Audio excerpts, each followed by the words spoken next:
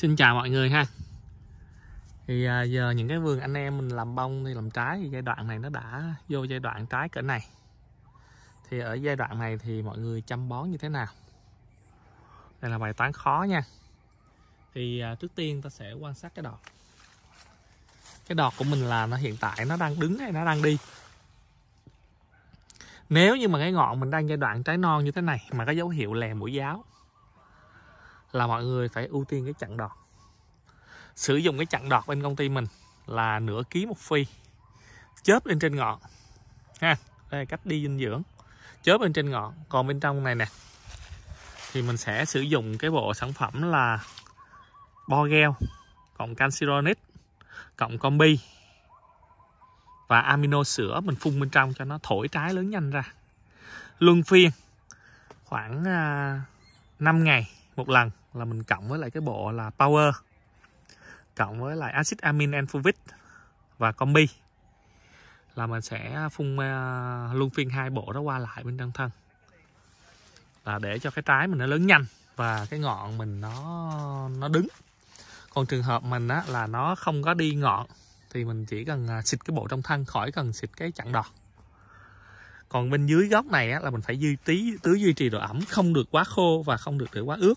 Như cái đất này là cũng tương đối là cũng tạm vừa đủ nhưng mà hơi thiếu nước một tí xíu. Giai đoạn này mà bà con mà tưới dư nước một cái là nó trút. Nha. Thì để an toàn trong giai đoạn này là mình chịu khó là mình phòng nấm. Phòng nấm thì mình sử dụng cái ca phốt cộng với lại cái CSC công ty mình ha là mình sẽ tưới gốc khoảng à, 30 lít cho gốc này. Là mình xài một chai ca phốt cộng một chai CSC cho 1.000 lít nước. Là mình tưới cho khoảng 35 tới 40 cây. Là tưới gốc cái cái bộ sản phẩm đó.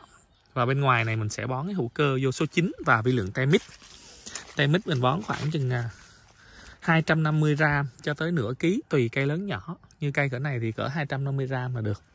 Cộng với lại 3 3 tới 4 ký vi sinh vô số 9 là là em. Giai đoạn này bà con ờ, từ từ hãy vô ba số nha. Mấy ờ, anh em mà hay vô ba số cân bằng giai đoạn này cũng rất là nguy hiểm. Tại vì lỡ phân bón nó, nó tốt không nói mà phân bón nó không tốt cái là nó rụng sinh lý nó trút ra hàng loạt.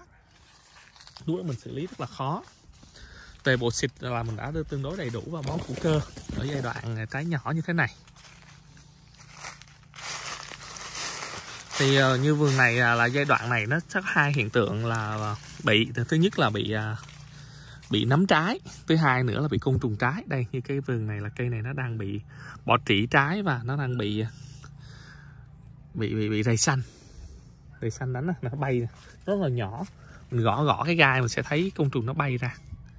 Mình sẽ đi qua cây mới ha. Cái cây này mình mình mình tới rồi là nó bay mất nhưng mình sẽ đi tới một cây mới bất kỳ mình gõ vô trong trái mình sẽ thấy. Côn trùng nó bay ra. Nè. Đó, thấy không? Nó bỏ trị trái và ngoài ra nữa là nó có thêm một loại nữa là rệp sáp trái. Thì xịt những cái loại thuốc có mát mát thôi. Thường thì mình nên ờ, phun đơn đi, đừng có cộng chung cái bộ bón lá. Bộ bón lá mà mọi người thường tiết kiệm công đó là cộng chung vô, thì nó dư chất ra. Nó dư chất ra là nó sẽ đào thải vườn mình thì đây là cái vườn bị à, bị nấm bị nấm uh, xì mũ thối thân rất là nặng. Nhưng mà mình uh, cho tưới gốc là đầu tiên là mình dùng anacardic với lại uh, phốt với đồng kẽm magie tưới. Nhưng mà tới cái giai đoạn này thì mình sẽ sử dụng cái uh, chitosan và nano bạc kết hợp với lại uh, những cái vi lượng chilat như kẽm và mangan. Nó vừa xanh cái gai ra nữa giai đoạn này à, mọi người mà xịt thuốc quá liều á, là cái trái mình nó dễ bị đỏ cái gai. Đỏ cái gai lên thì cái cây mình cái trái mình sẽ chai. Nè nó, như cái trái này nó sẽ lớn nè lớn nè. Còn hai trái này là là nó sẽ bị chai và nó sẽ cong nè. Nè, nè đây là cái trái nó bị chai nè. Nó đỏ gai nè. Thì giai đoạn sau là cái trái này nó sẽ rụng chắc chắn trái này sẽ rụng. Ha. Trái này là như cái cành này như cái cành này. Mọi người nhìn thấy như một cái cành này thì khả năng của nó chỉ đeo được khoảng 2 tới 3 trái thôi mà đây hiện tại là 2 4 6 7 trái. Thì nó dư trái ra thì cái những cái trái này nó không đủ dinh dưỡng nó sẽ đèo nó nó nó, nó nó dễ bị rụng nè nhiều cái cuốn dây nhắc nè ha. Giai đoạn này tưới cũng vừa phải thôi tưới nhiều là nó rụng nha. Tưới nhưng mà cũng không được để sóc nước có nghĩa là sóc ờ, nó đang nắng như thế này mà gặp mưa rào cái ao một cái thì mọi người phải tưới nước theo cứ theo để cho nó không có bị bốc hơi nước lên á. Cái hơi ờ, nó, nó đang nắng như thế này mà gặp mà mưa rào qua một cái xong nắng lại cái nó bốc hơi nước lên nó là nó sốc nhiệt là nó rụng nó đào thải ra. Đó thấy mọi người cái những cái vết uh, vết xanh xanh này không?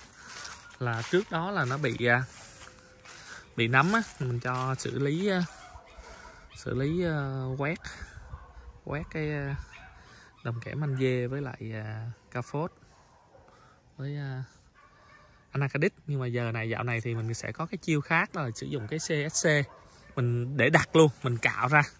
Có hai cách à, làm. Cái thứ nhất à, là mình dùng mình cạo ra mình dùng CSC đặt mình trộn với mỡ bò mình trét lên vết thương. Nhưng mà với điều kiện mà phải khoét kỹ. Rồi mình trét lên vết thương còn à, cách thứ hai nữa là dùng CSC mình phải đặt vô trong ờ, cho cho thêm tí nước hoặc là mình để nguyên đặt luôn, nguyên chắc ở trong cái bình xịt á. Mình khoét ra mình xịt trên cái vết thương tới đó là nó sẽ hạn chế xì mũ và nó đỡ bị liền. Nhưng mà để trị triệt để thì mọi người phải chịu khó hòa nước và tưới luôn cái phần rễ để nó hấp thu, nó lưu dẫn trong cây là nó đỡ bị bị nấm. Như cái cây này nó nấm mà nuôi nhiều trái quá này ha.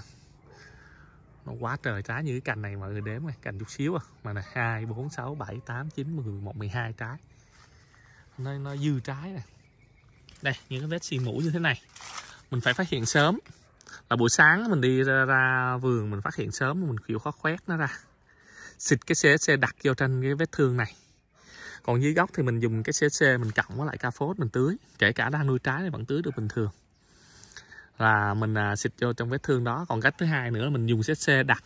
Mình trộn với mỡ bò xe mình khoét ra mình trét lên vết thương khi mà mình trét ờ, khi xe mình cộng với mỡ bò là trường hợp đó là trong cái mùa mưa. Để hạn chế nước mưa, nó dăng vô trong vết thương là nó xì xì mũ, nó phát triển thêm. Còn trong mùa khô, mình chỉ cần dùng CSC đặt là mình cho vô cái bình à, xịt à, xịt hoa hoa kiển á. Mình khoét ra, mình xịt à, xịt xịt cho nó ướt lên đó là nó nó khô vết thương lại ngay lập tức luôn. Là nó đỡ bị hiện tượng xì mũ ha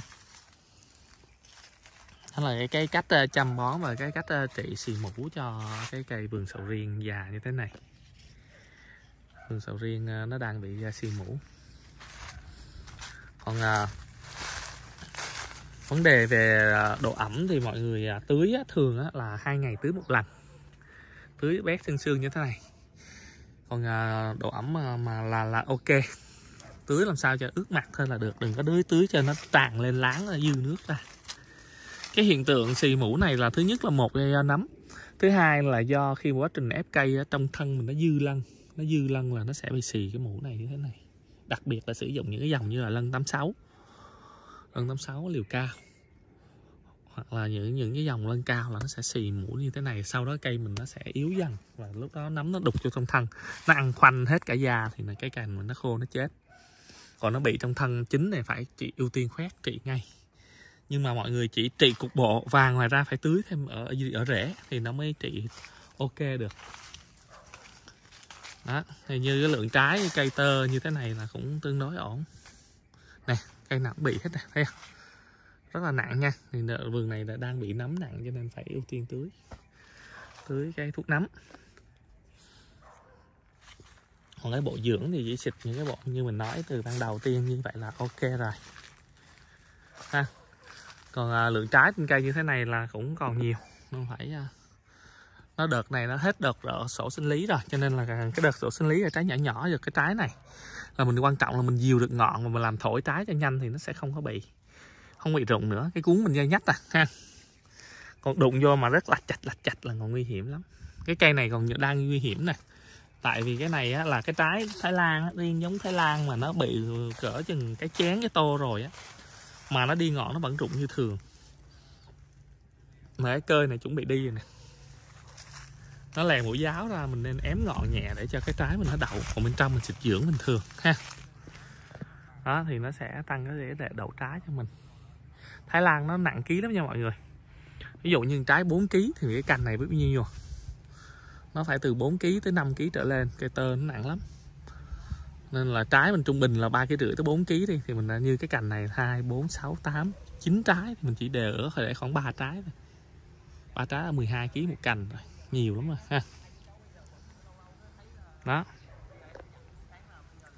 Thì à, mình chịu khó đi tuyển trái thêm. Và ngoài ra nữa chăm dinh dưỡng phải chăm cân đối thôi. Đừng có để à, thừa phân thiếu phân. Mà cũng để đừng để dư nước thiếu nước. Đó là cái cái đó cũng gọi là kinh nghiệm để chăm sóc cho vườn không phải dễ gì để có kinh nghiệm đó đâu. Đây như cái trái này nè. Đó, thì méo đỏ gai nè. Bị sâu rầy tùm lum hết. Nhưng cái lượng trái trên cây này thì còn dư rồi. Đó, thì mình cũng chia sẻ video tới đây ha. Chúc mọi người thành công nè.